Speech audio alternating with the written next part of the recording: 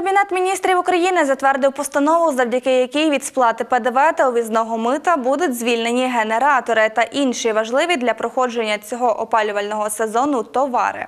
Прем'єр-міністр України Денис Шмигаль на початку засідання уряду зазначив, що йдеться про газогенератори, електричні двигуни та генератори, електрогенераторні установки та обертові електричні перетворювачі, трансформатори, електричні акумулятори, електричні водонагрівачі та обігрівачі, а також деякі інші товари для енергетики та забезпечення тепла. Це важливо, аби зараз прискорити ремонти, покращити забезпечення світлом і теплом, задовільнити населення, а також зменшити ціни на відповідну продукцію, повідомив прем'єр-міністр України Денис Шмигаль.